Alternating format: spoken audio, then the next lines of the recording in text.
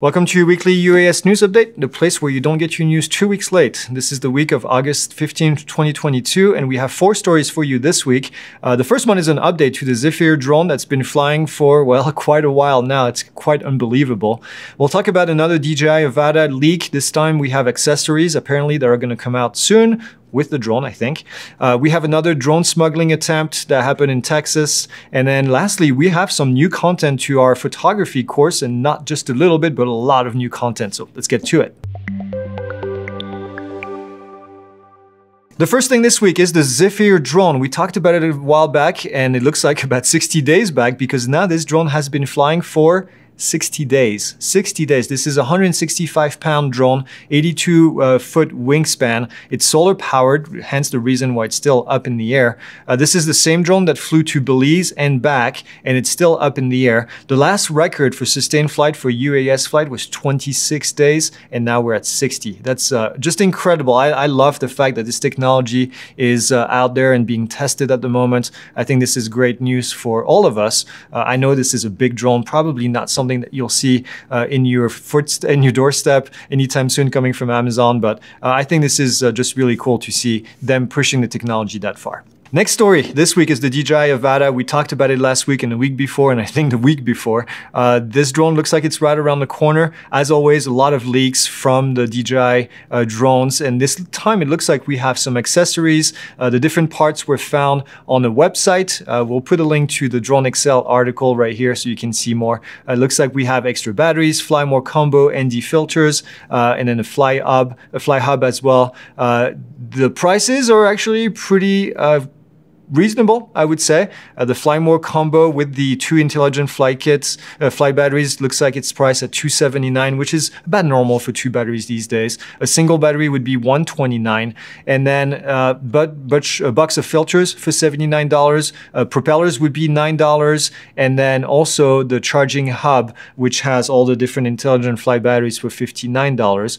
Uh, it looks like you can change some of these parts. The upper frame is available for $20, which I think is cool. I, mean, obviously, the, the biggest complaint from people with the DJI FPV was the fact that if this drone crashes, uh, you're going to break an arm, you're going to do whatever it is. It looks like this drone has the ability to change some of the parts, and they're pretty affordable because it's going to happen. You're going to you're going to break this drone uh, whenever it comes out, and uh, yeah, stuff happens.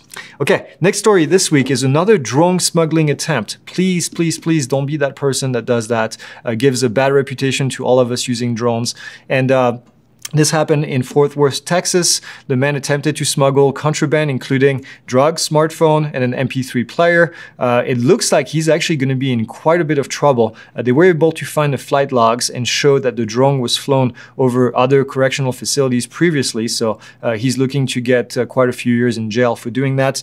Uh, I hope they actually make an example out of this person just so that it um, it prevents other people from trying to attempt this. I'm sure he was not the only person behind this. I'm sure there is more people, but it is what it is. By the way, you might hear the thunder going on right now because uh, we're in the middle of a thunderstorm, but this has been a pretty common thing these weeks uh, in Arizona. So uh, we're going to be recording anyway. Then you can get nice sound in the background at the same time. Next story is Vic Moss came to the studio a couple weeks ago to record a full addition to our photography course. Uh, Vic has been doing this for almost for, over 40 years, I think now, almost 40 years as a professional photographer. Uh, he's been flying drones pretty much since day one that drones were available to be used for photography. Uh, he's sharing a lot of his knowledge and we actually added five and a half hours of content to our photography videography course.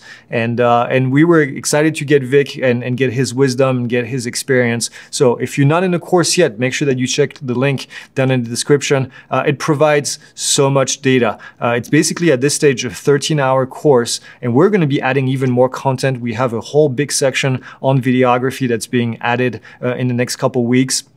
And um, yeah, just a ton of value for the price. Uh, you will not find this anywhere else on the internet, especially with a focus on drones and on ground photography and ground videography. So uh, you'll get a, if you're looking to just get better at doing photography and videography, this is definitely the place to be. So Next thing is, uh, last thing, uh, this is just kind of a quick add-on. Commercial UAV Expo is around, around the corner. Uh, Don, Jason, and I will be at the UAV Expo, also with all of our friends from the industry. Uh, lots of exhibitors out there. Uh, you get uh, still the ability to get tickets. I think the tickets are, I don't remember the price actually.